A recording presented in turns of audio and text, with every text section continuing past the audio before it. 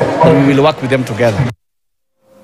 The whereabouts of activist Boniface Mwangi are unknown after unidentified people picked him up from his home in Machakos County this morning.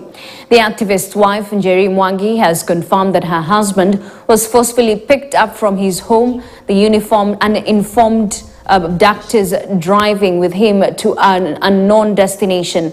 Police say Mwangi is being held at Kamukunji police station over claims of incitement to violence.